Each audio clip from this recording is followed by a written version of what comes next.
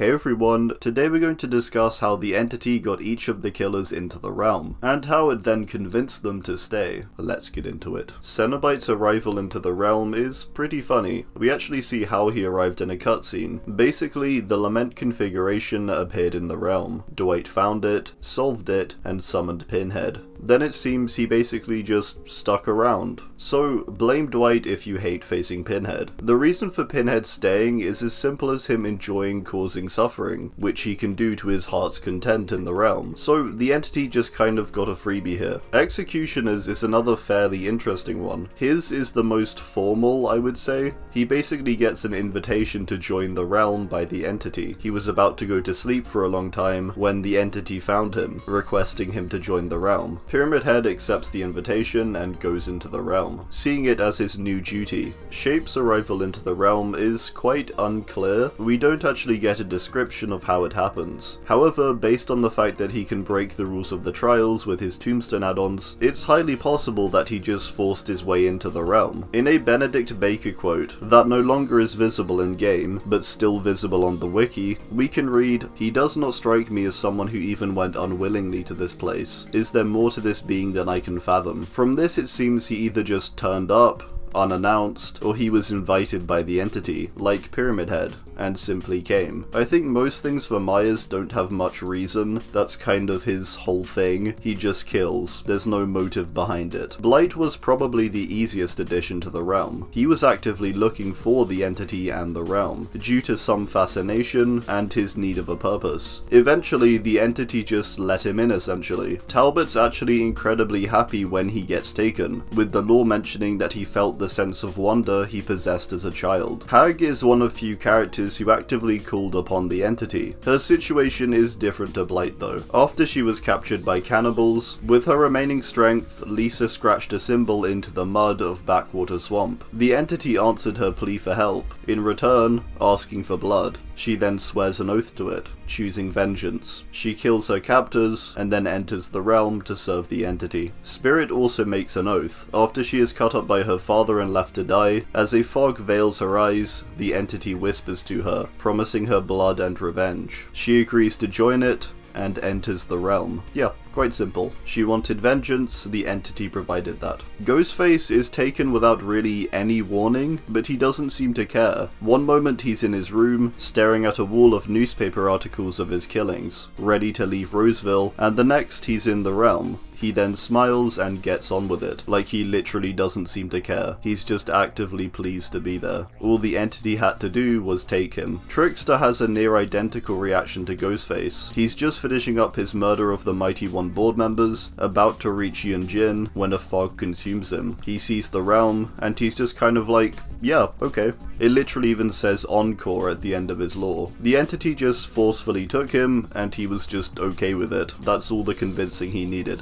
Hillbilly didn't really require any manipulation or convincing from the entity, as Billy's parents basically did that for it. Unlike most other killers, there's nothing that directly says how Hillbilly got taken, no mention of the fog. It's possible that Billy doesn't even realize he has gotten taken by something, presuming the survivors are just trespassers onto his land. Or it's a Ghostface situation, where he arrived in this new place, and just kind of got on with it. Before the realm, he was just running around killing things, and that's all he really does in the realm too. Same goes for Huntress. We don't have the account of Fog consuming Huntress, or any kind of agreement between herself and the entity, so I think she was convinced in the same way as Billy. She'd be treated fairly and get to do whatever she wants. Both of them are motivated by protecting their land, and themselves, and in the realm, they can do those things freely. I think for these two, it's that simple. Nurse is taken after she murders everyone in Crotus Prenn. As she is driven away in an ambulance, the ambulance crashes, and she is taken. Her years at Crotus Prenn basically drove her insane, with some possible manipulation from the entity in that regard too. In the realm, the entity has altered her physically, but she appears to serve it out of a desire to purify people, and she believes she can only purify them through death. It's a pretty weak motive, but presumably this is what drives her to hunt the survivors down. The entity giving her the tools to do so. Nightmare also gets taken kind of without warning. Out of the more powerful characters, he seems almost fearful and definitely confused about what he experiences. His shift into the realm is quite strange. Freddy felt another presence with him, something old, powerful and dark. A miasma enveloped him, and the only sensation was a sound like wooden beams, flexing and creaking in the distance. The echoing groan of metal crushed against metal, something arcane and unknowable, halfway between language and pure terror. A moment of falling and spinning, and then Freddy was back in the school. This to me is really interesting, as it's almost like the entity is doing to Freddy what he does to his victims, almost mocking him in a sense, whilst taking him, as this description is very dreamlike. Upon arrival to the realm, his powers are said to be tempered in some ways and focused in others, showing further that the entity definitely holds control over Freddy, changing his powers at will. Freddy then basically accepts his role as a killer in the realm, so I think the entity convinced Freddy by flexing its greater power, possibly the only thing that Freddy is actually scared of, something stronger or more evil than him. Legion's Frank gets taken by the fog after he and the other Legion members bury the Stalkerlux body up Mount Ormond. After Frank disappears, Julie, Susie and Joey follow him into the fog. There isn't anything that touches on the agreement made or how the entity convinced them. For both Frank and Julie though, we can assume that the idea of them being able to become the Legion is all the convincing they needed. These two shared a passion for serial killers, and kept scrapbooks on them. The whole Soldiers of Mayhem tome basically tells us that this is their dream. Super creepy, but that's how the entity got them to work with it. It gave them what they wanted. Susie and Joey are a bit of a different story. When they killed the clerk, they were very shocked, and seemed greatly disturbed by it. We can assume therefore that these two were changed in some way by the entity, or maybe they were just so scared of it that they decided to serve it. I think that's the thing that makes the most sense. Onryo's entrance into the realm is very strange, but essentially the entity seems to kind of show her that it's got the same goals as her. It destroys a cabin built above the well she was in with a tidal wave, and then pulls her out of the well. The fog then caresses the water's surface as she looks on. This seems almost like an agreement between them. Sadako gets her revenge, the entity gets her as a killer in the realm. Clown and Doctor seem to be convinced in similar ways, that being a promise to mess with or experiment on as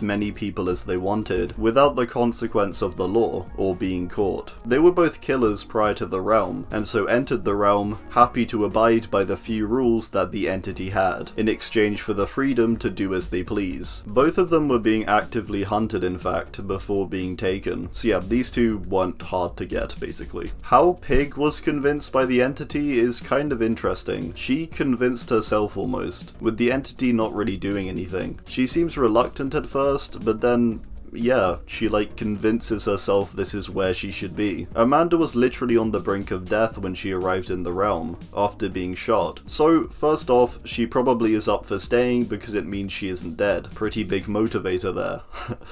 She goes through a few different possibilities for why she's in the realm. She thinks she's been cursed, or thinks maybe it's a test. The main reason she seems convinced to serve the entity though, is because she believes that it's all part of Jigsaw's plan, and she doesn't believe he would give up on her. So she essentially convinces herself of why she's in the realm, thinking this is what John wanted. Cannibal is basically scared into the entity's service. He gets taken right after the events of the Texas Chainsaw Massacre. Upon arrival into the realm, we get this section in his lore. It came from outside his vision, crawling over his skin with cold dread. He realized that no matter what outsiders could do to him, there was something worse, something bigger that lived in the shadows. He was filled with a terror, unlike any he had ever felt before, but it was almost comforting, like the fear he'd felt with his family, the fear of disappointing them. Yep, that's it. The entity scares him, and Bubba is scared to disappoint it, so he serves it. Wraith and Artist were both manipulated by the entity without even realizing, before entering the realm. Both of these characters are stalked throughout their lives by the entity, slowly getting whittled down through various traumas, until just before they are taken, when the entity hit them both with devastating events. Artist witnessed her crows kill her friends, and Wraith discovered he had crushed hundreds of people for Azarov. When they arrive to the realm, they are broken, and they appear to blame themselves for their actions. It seems this darkness then leads to anger, and knowing they can't escape the entity's grasp and darkness, they choose instead to serve it. Trapper seems to have also been stalked by the entity throughout his life, preyed on for his trauma surrounding the death of his mother,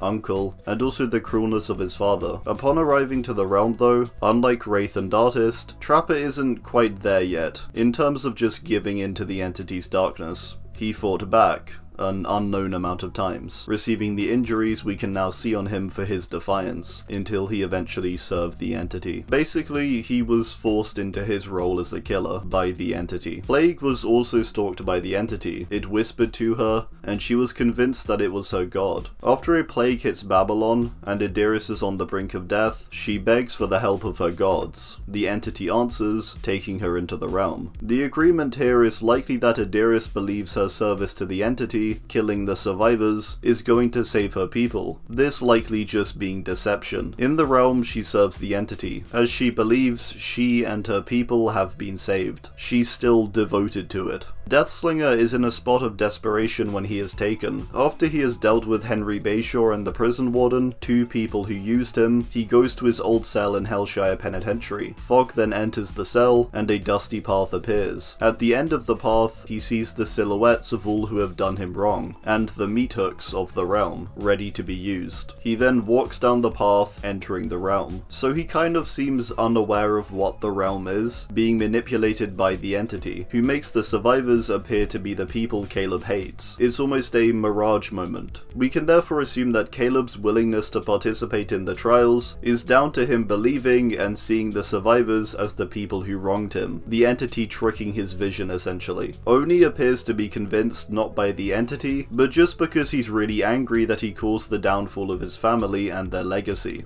After he begins to die in the stone mill and is taken by the entity, he is transformed into the Oni in the realm. He's forced forced to wear an Oni mask and embrace the name he hated, Oni Yamaoka. So I think that basically he's just very angry, and this anger blinds him, and he takes part in the trials without much convincing. It's possible that a bit like Deathslinger, Oni also sees the survivors as people like the Lord who called him Oni Yamaoka, or people he hated essentially. Or it really is just pure anger that makes him stay. Twins, or Charlotte really, because Victor's dead when she is taken, is convinced by the entity simply by offering somewhere where she won't be hunted, and Victor is alive. Prior to the arrival of the fog, Charlotte sits by a campfire and is freezing. She accepts death, before hearing Victor's shriek. Victor then appears in her chest, jumping from it, and running away. She follows him into the fog, and it says she prepared to eviscerate any who set foot near her brother. Basically, she got Victor back, and so she serves the entity so they can stay together. It's possible too that she may have a similar distortion happening, seeing the survivors as members of the Black Veil, the cult responsible for experimenting on the twins, and killing Victor. It's unclear though, although it is hinted at. Finally, we have Demogorgon and Nemesis. Demogorgon has no indication on the logistics behind its agreement with the entity. My two little theories though, are that either the entity contacted the Mind Flayer, creating a connection between its own realm and the Upside Down, a bit like Eleven did in the show, and as a result, the Demo crawled through a connecting portal into the realm. Or alternately, the entity and the Mind Flayer made an agreement, as mutual entities, for Demo to just join the realm. For Nemesis, we also have very little to go on. It does basically spell it out at the end of his lore though, after being taken into the realm. All that mattered was soldiering on into the fog, continuing the mission, find stars, and kill anyone who gets in the way. Basically, he's just continuing his mission. He isn't convinced really, it seems. The setting of his chase is just changed. It's possible though that in some way the entity has reprogrammed him,